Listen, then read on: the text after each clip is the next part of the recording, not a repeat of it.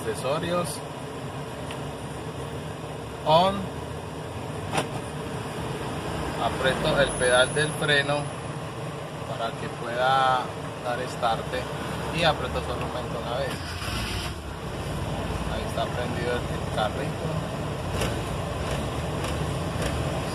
Problema.